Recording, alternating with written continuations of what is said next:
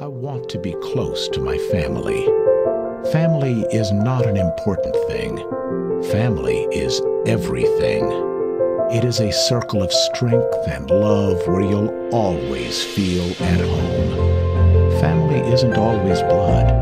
It's the people in your life who want you in theirs. The ones who accept you for who you are.